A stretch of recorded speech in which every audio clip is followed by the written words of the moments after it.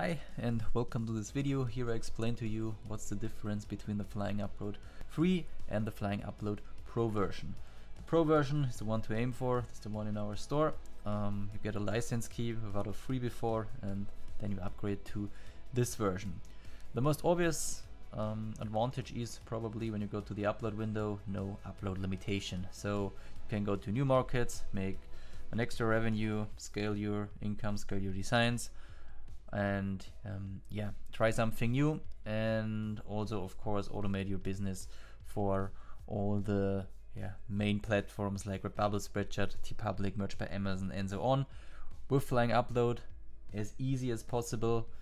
You can reuse your listings you already wrote for all other platforms. For example, if you upload it to Redbubble and Spreadshirt, no problem to also use them for TeePublic and Society6 for example.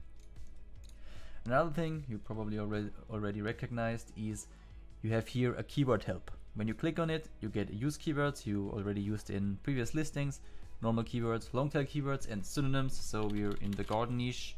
Then we click here on search all, and then we will get here um, synonyms, for example. Then we get here also short tail keywords and also here long tail keywords you can use. If your listing is fine, click on save, keywords edit, simply click on it as easy as possible and yeah, your listing is even better than before with these keywords. Other features we have when you go here is you have a show overview. This is a nice to have thing where you can go through your listings, you see which color you selected, title, description, text and so on. And yeah, it's as I said, nice to have and for a general overview.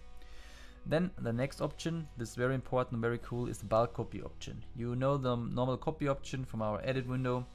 And you can transfer the data from one design to the other. With the bulk copy option, you're able to transfer the data from one design to all others in the list.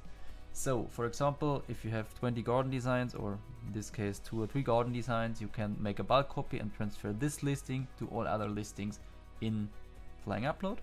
And for a bit more variation, you can easily make a right mouse button click and for example, shuffle the text. So other keywords are in front, other keywords are weight more and yeah, get this extra touch, try something and um, not just upload the same listing 20 times, for example. And then another feature we have, also very important and also very cool, is the profile manager here. When you click on it, um, you can open and then you can create here a profile where you can set default settings, a shortcut and so on. Um, uh, email, um, email, explanation, yes, video explanation is on our YouTube um, when you search for the profile manager.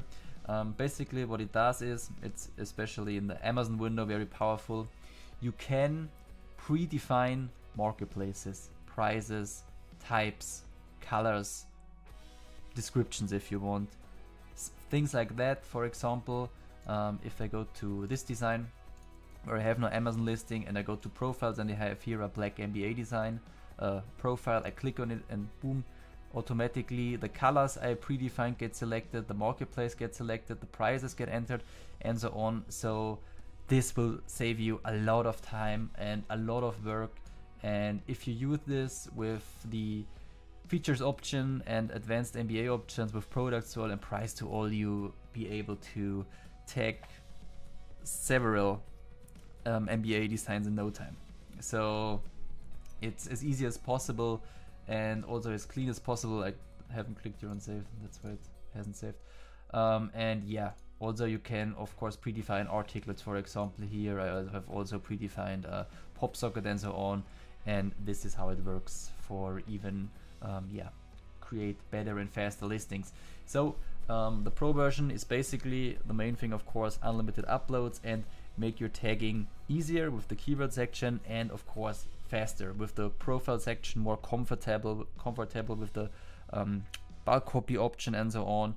And yeah, it's a big step especially uh, when it is about uploads um, to the free version. In the advanced version you have unlimited for Merch by Amazon, Spreadshirt and Redbubble, so the most common platforms. It's half of the price and with a flying upload, yeah, you're fully invested in the business and um, with that you should be able to gain some good revenue and um, if you want to try it you can and yeah these are the differences and if there is another video, I see you in the other video.